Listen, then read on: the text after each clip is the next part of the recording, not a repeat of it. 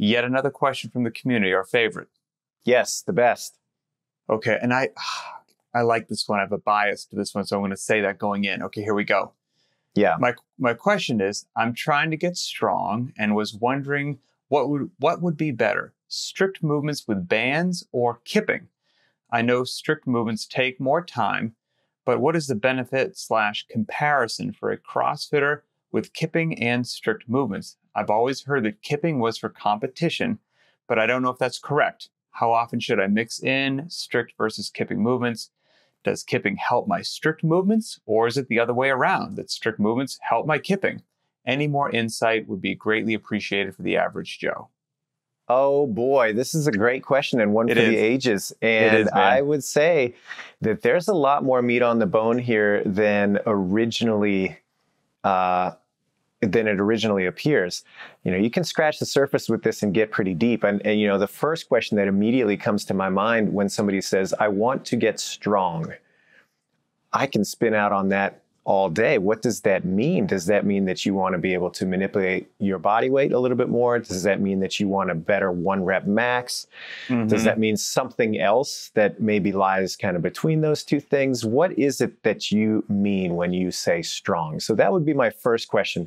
Reading between the lines, it sounds like this individual is asking, how do I develop the ability to do more pull ups? That's kind of what I thought as well. And so if that's the case, well, then there's some pretty, pretty natural approaches in my mind. But I think the broader question of kipping versus strict can apply in a lot more areas than just the specifics of pull-ups. So let's get that out of the way first. Um, you know, okay, I'm trying to develop my pull-ups. What's the best approach? Maybe we start there. And Mhm. in my opinion, uh, I think that if somebody doesn't have the control to do a strict variation of the movement, you should be wary about doing a bunch of kipping development because you can't control the range of motion yet.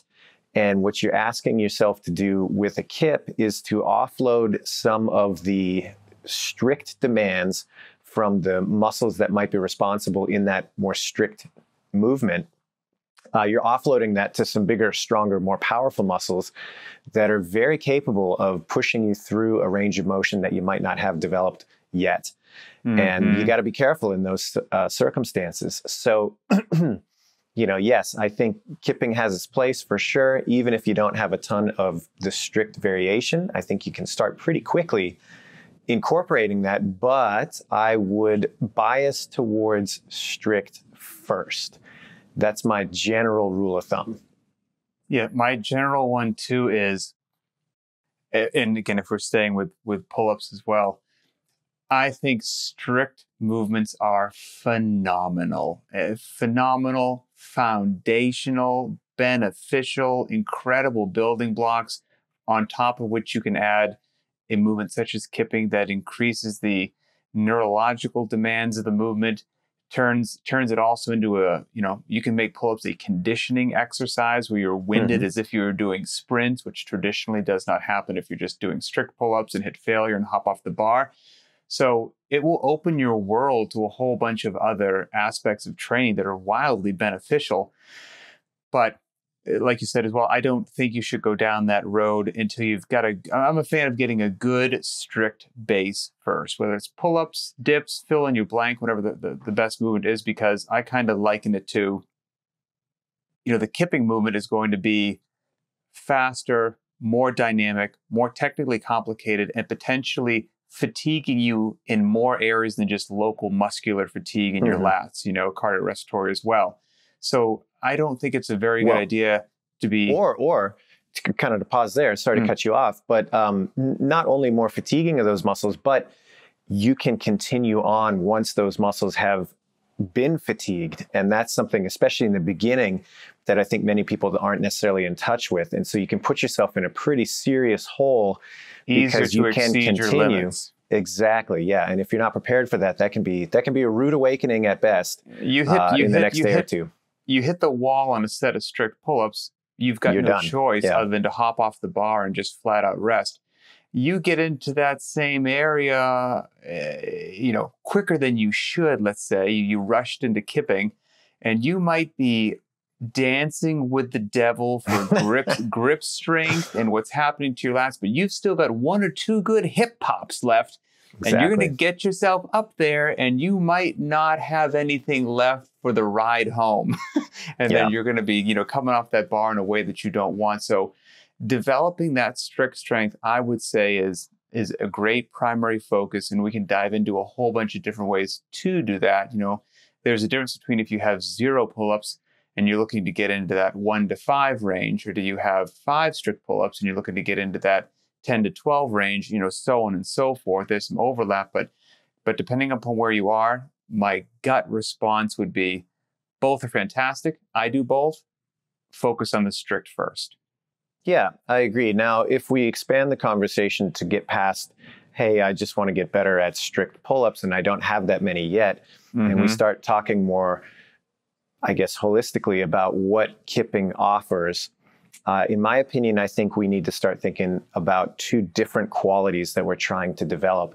And they have a lot of overlap and they definitely influence each other positively. But if we start thinking about strength in isolation and power in isolation, we can start mm-hmm. to see mm-hmm. where each starts to come into play. So if we're looking at the physiological characteristic of strength, what we're talking about is the maximum number of motor units that can contract to achieve a goal. So in the deadlift, you know, I'm trying to get maximally recruit as many muscle fibers as possible to aid in me breaking the bar off the mm-hmm. ground and mm-hmm. lifting it to full extension. Within that lift, there's no real time component that is critical, uh, meaning that there are plenty of people that are not particularly fast or explosive uh, or even would be traditionally concerned or, or uh, uh, considered athletic that can deadlift a house because there is time comparatively to recruit that. You've got a buildup over seconds in some case to get all of those muscle fibers contracting in unison. When we start looking at the physiological uh, attribute of power, there is a very distinct timing component that comes in. What we're talking about now is how many muscle fibers can I contract instantaneously or near instantaneously in unison. Mm. And that's a different physiological capability. So that's why you have somebody who may be an incredible deadlifter who is not an incredible clean or clean and jerk athlete. Mm-hmm. You can see that the opposite way too. You have you may have somebody who is incredibly explosive, but they cannot create as much high-end power or uh, strength rather uh, when you load up the bar beyond where they can be explosive. And so those two things are related, and certainly there's a lot of overlap, but they are not the same things. And when you start getting into you know athletes that are primarily focused on strength expressions, what you see is that they may have their outlet competitively firmly rooted in one, you know, powerlifter, they're looking for that strength, but many of them adopt explosive style movements to try to increase their power because they understand that it does have influence on their strength to some degree. The, the wonders and vice versa. Exactly. And, and you see that, you, you know, the dynamic method in the Westside kind of school of thinking, um, you know, lower weights with more um, emphasis on trying to lift quickly, that sort of thing. That's that's very popular in a lot of strength uh, programs. And you see it the opposite way too. Athletes that have uh, a strength focus but are more explosive and, and, interested in power development. We're talking athletes that throw, athletes that do uh, Olympic lifts competitively, things like that. Um, they will also incorporate pure strength movements because they do understand that there's a positive influence there to some degree. Mm-hmm. So again, if we break away and we think about these as two separate physiological developments, there's utility for training both, especially as CrossFitters who want that development across a broad spectrum of physical capabilities. You want to find both. Now, where that translates into a body weight application is when you start to see where kipping versus strict starts to fall out. When you have your body weight as the load, there's going to be different ways to try to manage this explosive type expression of power and a strict, more strength oriented expression. So, for example, strict pull up is obviously going to be on that more kind of strength or stamina type type of uh, um, development. Getting into the kip, I think sometimes the talking points revolve around more conditioning because I can use more muscle to continue longer than I might if I'm using just my arms and upper body alone. That's totally legitimate. But what gets maybe less talking point is this idea that an explosive, almost plyometric approach can have a good influence on strength and vice versa. And it's a different quality that you're developing with that different approach to the movement. And I think sometimes that doesn't get the uh, the lip service that it's due. Uh, I think you know, and we recorded the last show that we recorded about what is a CrossFitter. At some point in time, we talked in there about about the wonders of variance and you know that the body's one piece and getting outside and, and entering different disciplines improves the other disciplines in a way that may not be readily apparent as to why that occurs, but it does. And I think that's the same thing. You know, my, you know, if you, if you are at the level athletically with your competence that you can safely execute both. You get strict, you get kipping, you're not in any danger of, you know, getting yourself into into waters that you shouldn't because you're, you know, you don't have this good baseline of strength yet, but you're just kipping like a donkey up there in the bar, whatever it happens to be. Then, you know, I've been doing this for a long time, been training a tremendous amount of athletes for a long time everyone, and I use that, you know, you know, 99.99% of the people that I've encountered are going to progress better, more efficiently, more effectively with it. Let's just say their, their pull-ups journey, but this would apply to something else, by not just doing one style of the pull-up. I mean, you know, mm-hmm. again, exposing yourself. We're going to do strict and we're going to do uh, kipping chin over bar. We're going to do kipping chest to bar. And then guess what? Even though this may make some longtime CrossFitters who consider themselves elite shudder. We're going to do ring rows because ring rows are fantastic and infinitely scalable. And if you put your feet up on a box and you're parallel to the ground, I almost feel like they're more challenging than strict pull ups and I reach fatigue faster. And I'm pulling in a slightly different direction and we're going to do bent over rows and we're going to do rope climbs and we're going to do mm-hmm. ring muscle ups and we're going to do low ring muscle ups from the ground with just barely a little bit of leg so it becomes this really upper body dominated drill but you're using just enough leg to finish the movement so you're kind of pushing through that fatigue all of those different ways at attacking it and we're going to do weighted pull-ups like these all it's not just this well, i'm going to do this one thing and this is going to advance me. That has not been what I have found. I have found that mm. that slicing up that pie into as many intelligent slices as you can, and then serving them serving them out in an intelligently laid out order serves most people the best. So I'm a I'm a huge huge fan of of attacking with variance, and I've seen the benefits for years and years. Yeah, I agree. And uh, you know, again, to kind of draw this analogy between weightlifting and different approaches and then body weight training. You know, the challenge with body weight training is that you have a fixed level of resistance. You know, you weigh what you weigh.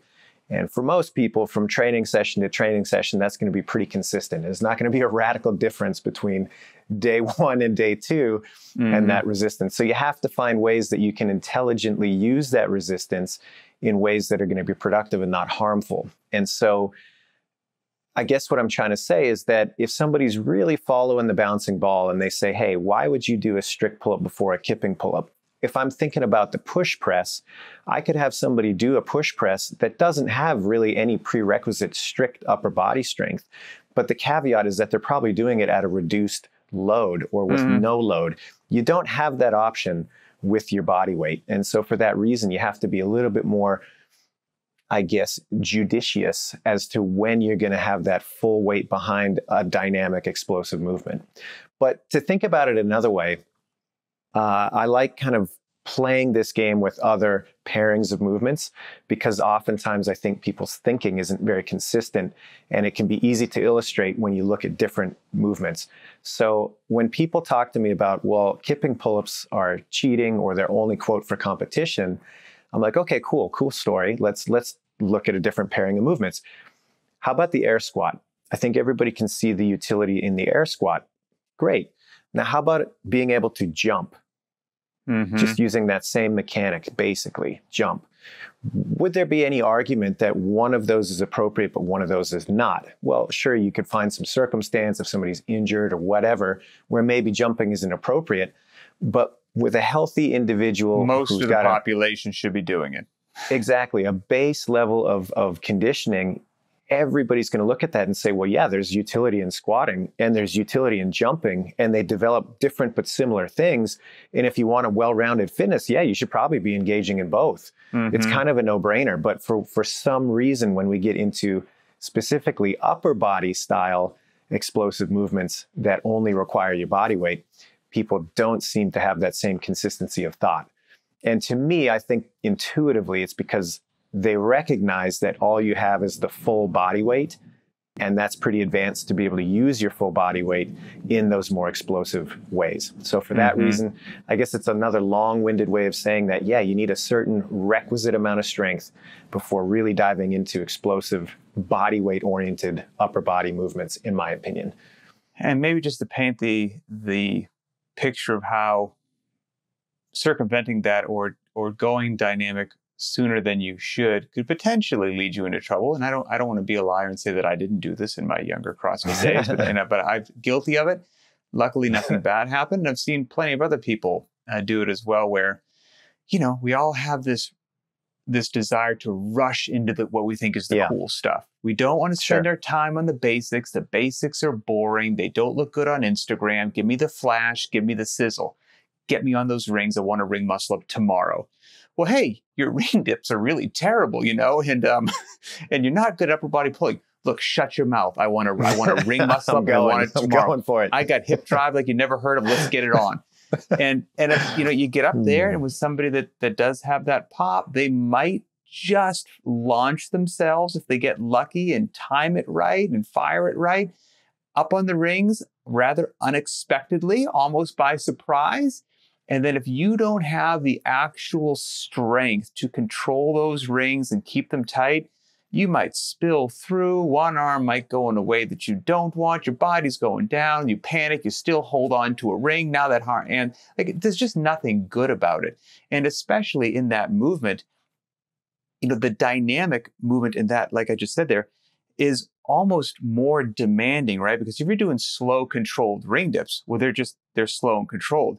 If you aggressively kip yourself into the bottom of a muscle up, you're going to get there in a hurry, and the demands to like to control that Mhm. are going to be more significant than you doing slow, controlled, rhythmic ring dips or right. So you need to have that base, or you know, it could potentially be a bad day in the gym. I don't want to see that happen to anybody. So it's always a good idea just to lay that groundwork first. So when you start to advance in speed, velocity, technique, complexity, whatever it happens to be, you're doing it, at least you've set yourself up for the greatest amount of success possible. So I think that's the crawl, walk, run approach there. Well, let me tell you, Pat, I'm no chef, but if you were coming over to my house for dinner and I was trying to impress you with a world class meal, and you asked me a question about where did you source these ingredients, and I said, well, I got the uh, I got the meat in the dollar bin at at uh, Walmart. Awesome.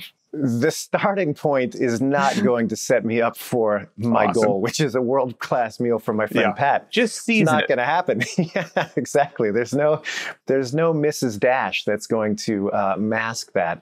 So I think it's very similar. You know, if you're starting off with the ingredients that might be a little subpar, the combination is not going to magically come together in any way that uh, that that is better. You know what's interesting too is let's let's say that you've you've worked this process and and you've got yourself some strict pull-ups, you've developed the kipping technique, you're, you're comfortable with both, you're starting to flow them back um, back and forth in workouts. And I'll say, you know, because also part of his question was how often should one be done over the other? I, I can't tell you it's it's a one to one, it's a two to one, it's a three to one ratio or whatnot, but I can tell you that you should be doing both. And and I even will allow myself, probably Mhm. also because I really like strict pull-ups, but I'll do them every now and then in workouts that call for kipping, understanding that I'll be a little bit slower. But Yep. I feel like, you know what, I haven't worked some stricties in a while. I'm going to just do them strict Mhm. today. I'm going my fitness is going to be fine. It's going to take me a little bit longer. I got to rest a bit more. Whoop de do, who cares? And if the sets are, are low enough, it may actually not slow me down that much, you know, given whatever your pull up capacity happens to be. But if you have the capacity, let me, I'll give you two workouts so you, maybe people can see how both have their place really nice. So I did a workout yesterday, as a matter of fact. You should do it because it's terrible. That's what every CrossFit says, says to their friend.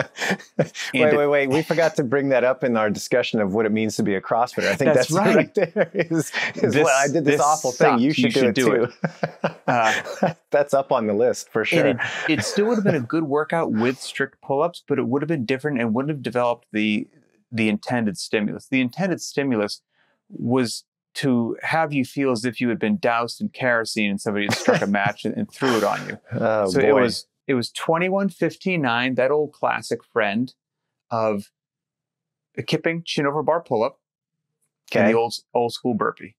That's it. Uh, yeah. No, that's that's it. I know exactly where that's going. That's especially for a skinny that's guy it. like me who's pretty good at both of those movements. I know how that ends. That's and no. And I specifically put the pull-ups first. So think about like Fran. And Fran, mm-hmm. the thrusters come first, the pull-ups come second. Well, I've thought about these two movements. You're not going to fail a burpee. They might slow right. down. They might turn right. into grease burpees, but then you have a chance of failing the pull-ups. So put them first to give you the yep. greatest opportunity to to keep the pedal down. And so it was disgusting and awful, and and it it, it burned.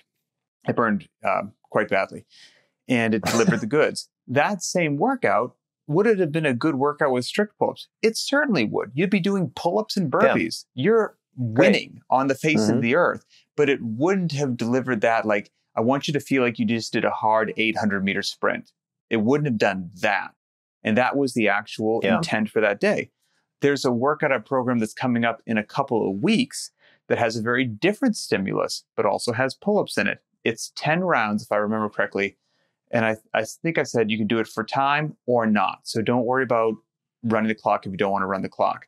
And it's 10 rounds of 30 double unders, 15 sit ups, and five weighted pull ups. So again, I also I gave people the option not to run the clock because the goal that day is yeah, there's double unders, yeah, there's midline, but the goal that day is to work on your weighted strict pull ups. And mm. so hmm. if you're rushing the clock, you might be too concerned with the clock. And now I'm not going to try to like put a good load on me.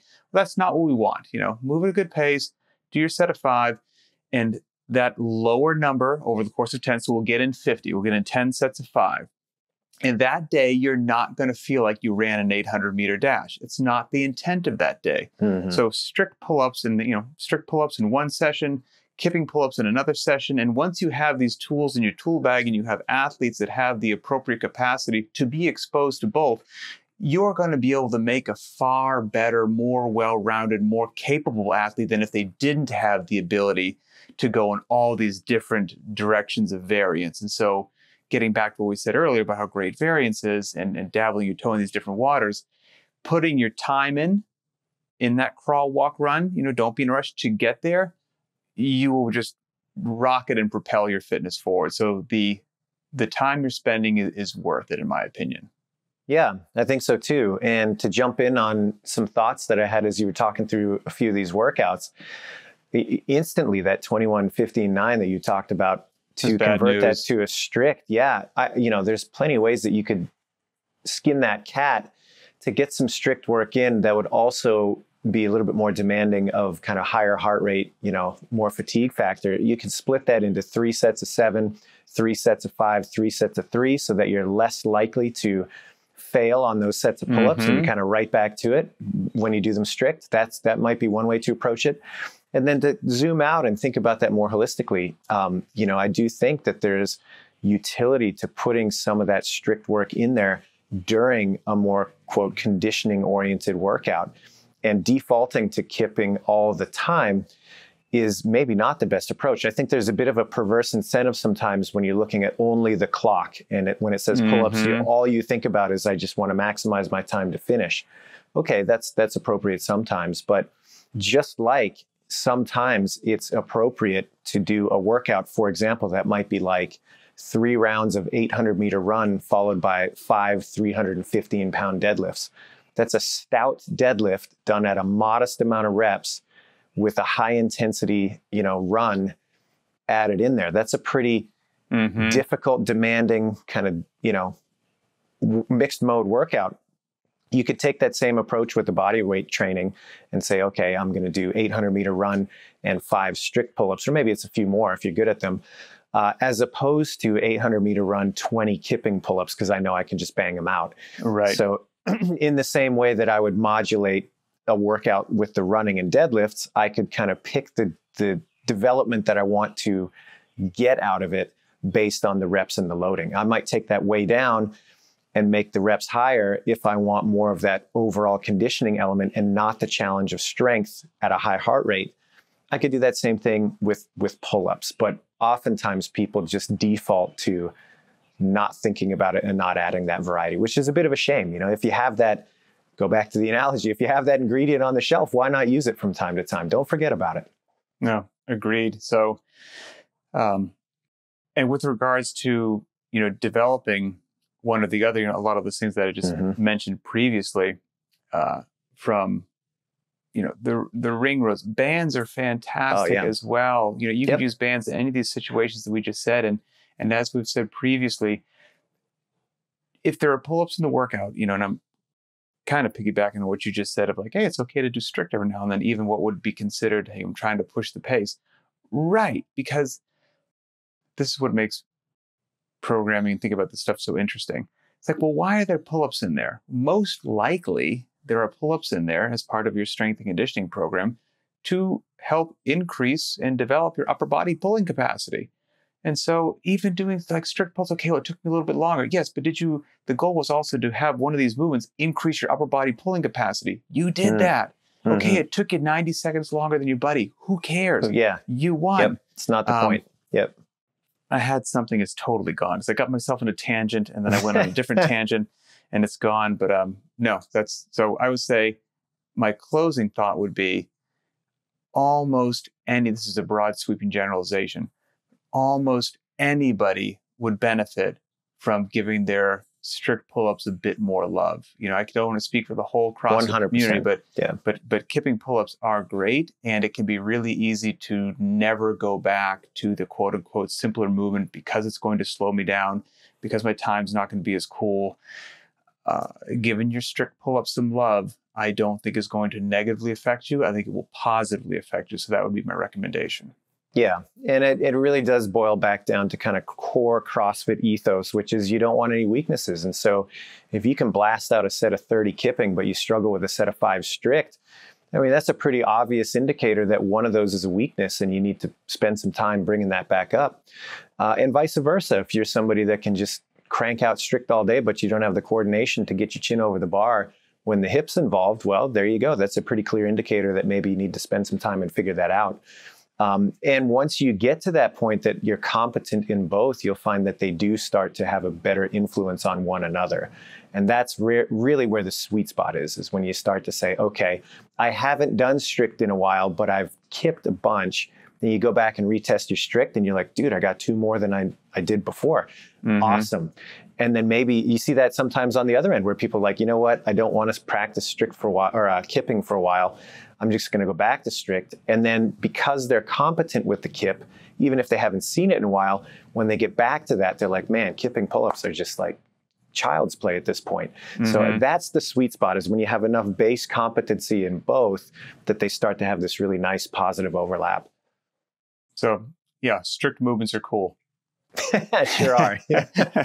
so are kipping movements. yep, 100%. Yep. So, all right, well, hopefully hopefully that helps. You know, hopefully helps the, the, average Joe get back on track with the kipping and the strict because there's there's a place for both. They have, there's wonderful benefit and they they both help each other uh, advance forward. So kipping and strict, I mean, talk about a topic that people just love to to chop it up about. Oh, so if, it's eternal. If, we'll, we'll, I mean, this is something that will be. We'll come uh, back to it. Absolutely. Yep.